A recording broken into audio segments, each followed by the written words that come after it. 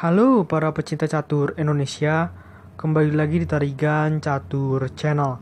Kali ini Tarigan Catur akan menampilkan partai yang sangat menarik yang Tarigan Catur beri judul Blunder Fatal Gary Kasparov versus Viswanathan Anand dalam turnamen PCA World Championship 1995. Oke, mengenai informasi pertandingan lebih detail, mari kita simak dalam layar berikut. Ya, walaupun kalah, di laga ke-9, Gary Kasparov tampil sebagai juara di dalam turnamen PCA World Championship 1995 setelah unggul dengan skor 10,5 berbanding 7,5 dari Anan. Oke, kita langsung masuk terkait informasi pertandingannya. Pertandingan ini berlangsung pada babak final turnamen PCA World Championship 1995, tepatnya pada round ke-9, yang berlangsung pada tanggal 25 September 1995 yang mempertemukan pertarungan antara dua Grandmaster hebat di masa lalu, yaitu Grandmaster Viswanathan Anand menghadapi Grandmaster Gary Kasparov. Gary Kasparov sudah lama pensiun ya, sedangkan Viswanathan Anand masih aktif sebagai pecatur hingga saat ini. Namun sudah mulai kalah dengan Grandmaster top 10 dunia lainnya. Oke, kita langsung masuk ke pertandingannya untuk melihat bagaimana permainan hebat yang ditampilkan oleh keduanya sehingga keduanya menjadi salah dua yang terhebat di tahun 1995. Di sini, Gary Kasparov menggunakan catur buah hitam, sedangkan Viswanathan Anand menggunakan catur buah putih. Layar tampak seperti ini karena admin Tarigan Catur ingin ya untuk melihat di mana sih letak kesalahan Gary Kasparov saat menghadapi perlawanan Viswanathan Anand ini sehingga Anan bisa menang dengan cukup mudah di langkah yang ke-35. Viswanathan Anan memulai permainan dengan pion E4 dan dibalas pion C5 oleh Gary Kasparov yang merupakan pembukaan pertahanan Sisilia. Kuda F3, pion D6. Pion D4 mengajak pertukaran pion di petak pusat oleh Anan yang tentu saja diterima oleh Kasparov dengan pion C pukul D4 dan kuda pukul pion di petak D4. Kuda F6 mencoba mendapatkan pion putih, kuda C3 menjaga pion tersebut. Pion A6 maka masuklah dalam variasi Natsdorf ya, masih dalam pembukaan pertahanan Sisilia. Gajah E2, pion E6, rokade pendek oleh Anan, dan gajah menuju petak E7 persiapan rokade pendek juga oleh Yeri Kasparov. Pion A4, kuda C6 mengajak pertukaran kuda dengan Anan, namun Anan masih belum menerima ajakan tersebut. Dengan melakukan langkah gajah menuju petak E3, justru semakin memperkuat posisi kuda putih di petak D4. Rokade pendek oleh Gary Kasparov dan pion F4 mencoba untuk aktif ya dari Anan untuk terus mencoba menyerang pertahanan Sep Raja dari Gary Kasparov dengan membuka pion yang berada di petak F4 atau di lajur F. Di sini dilakukan langkah menteri menuju petak C7 oleh Gary Kasparov dan Anan memindahkan Raja Putihnya ke petak H1. Di sini tujuan Anan adalah untuk menghindar ya dari petak diagonal panas G 1 hingga A7 yang dapat sewaktu-waktu dimanfaatkan oleh Gary Kasparov untuk memberikan serangan balik. Benteng E8, gajah F3, gajah D7, kuda B3, kuda A5 mengajak pertukaran kuda oleh Kasparov yang diterima oleh Anan. Kuda pukul kuda di petak A5, menteri pukul kuda di petak A5 Menteri D3, benteng A menuju D8, menempatkan benteng hitam di satu lajur dengan menteri putih. Benteng F menuju D1, menumpuk menteri dan benteng dalam satu line yaitu line D. Gajah C6, pion B4, mencoba mengancam menteri hitam. Walaupun pion putih ini tampaknya gratis, namun apabila dipukul misalkan maka setelah Anan melangkahkan pion menuju petak A5, sudah tidak ada lagi yang bisa dilakukan oleh seorang Gary Kasparov untuk menyelamatkan menterinya. misalkan gerakan ke mana pun ya. Misalkan benteng menuju petak C8 dengan tujuan agar gajah nantinya bisa ke petak D8.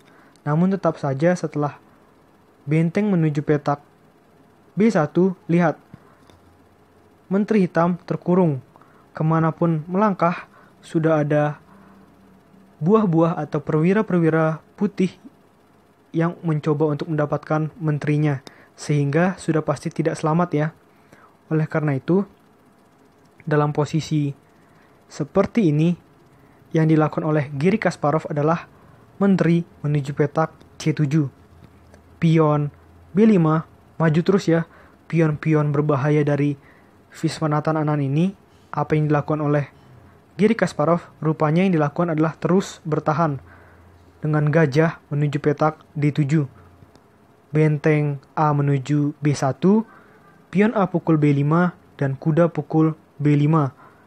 Dengan tempo mengancam menteri hitam, gajah pukul kuda, dan menteri pukul gajah.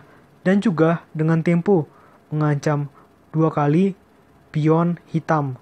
Di sini, Giri Kasparov mencoba melakukan hal lain agar tidak terus bertahan dengan melakukan langkah benteng menuju petak A8.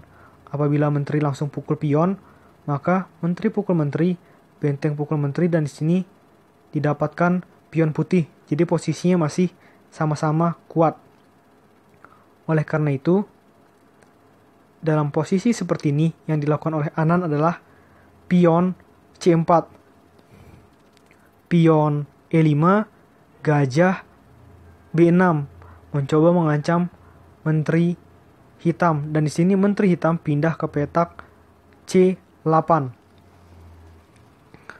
Pion F pukul E5 dan pion D pukul E5.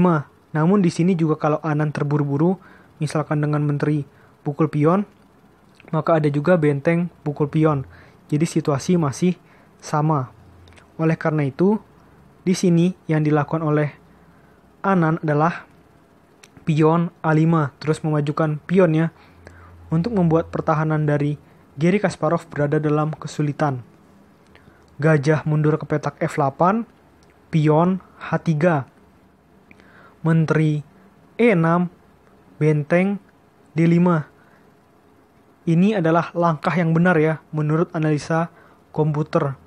Walaupun kita lihat bahwa ini adalah pengorbanan benteng, namun ini adalah langkah yang cerdas dari Viswanathan Anan untuk mencoba membentuk pion putihnya yang sangat berbahaya untuk mencoba promosi nantinya. Setelah kuda pukul benteng dan di sini pion E pukul D5. Kita lihat pion putih bergandengan ya di petak D dan di petak C. Dan ini akan sangat menyulitkan bagi Giri Kasparov hingga pertandingan berakhir. Menteri pindah ke petak G6 mencoba untuk membuat Menteri Putih ini terpaku ya, karena akan terus mencoba melindungi benteng putih. Apa respon dari Anan di sini? Dengan pion C5 langsung maju terus saja ya. Pion E4, gajah E2, benteng E5 mencoba mendapatkan pion putih dan menteri D7 mencoba melindungi pion tersebut. Benteng menuju petak G5 mengancam pion putih dua kali dan benteng menuju petak G1 dan di sinilah blunder pertama yang dilakukan oleh Gary Kasparov dengan pion menuju petak E3. Langkah ini tidak ada maksud apa-apa ya. Yang membuat langkah ini jelas bukan langkah terbaik. Dan ini juga yang membuat Gary Kasparov sudah pasti kalah di dalam pertandingan ini. Langkah selanjutnya dari seorang Gary Kasparov adalah kan pion menuju E3 ini. Ada baiknya menurut analisa komputer yang dilakukan adalah menteri menuju petak F5 mencoba mengajak pertukaran menteri dan di sini analisa komputer menyebutkan akan ada menteri pukul menteri dan benteng pukul menteri apabila laga terus dilanjutkan. Oke, kita kembali. Namun di sini dilakukan langkah pion E3 yang tidak berarti apa-apa dan Anan menjawab dengan pion D6 dan lagi-lagi ada satu langkah salah dari Gary Kasparov dengan benteng menuju petak G3 dan di sini sudah lebih berbahaya lagi bagi seorang Giri Kasparov karena ada langkah menteri pukul pion di petak B7 walaupun ada ancaman dua langkah skakmat yang akan diterima oleh Anan dengan langkah Giri Kasparov menteri menuju petak E6 namun setelah Raja menuju petak H2 sudah ya sudah berakhir bagi seorang Giri Kasparov dan Giri Kasparov resign dari permainan ini. Karena apa? Dalam posisi seperti ini sudah sangat sulit bagi seorang Giri Kasparov.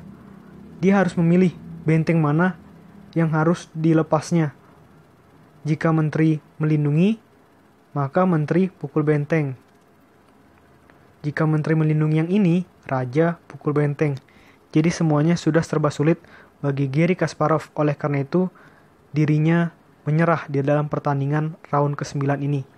Ya, ini adalah permainan yang sangat bagus yang dipertontonkan oleh Viswanathan Anand yang membuat Gary Kasparov berada dalam kesulitan.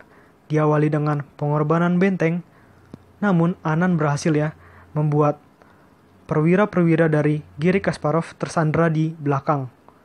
Dan pion-pion putihnya mencoba aktif untuk promosi. Oke, menurut Tarigan Catur, video kali ini cukup. Nantikan video-video selanjutnya tetap di Tarigan Catur Channel.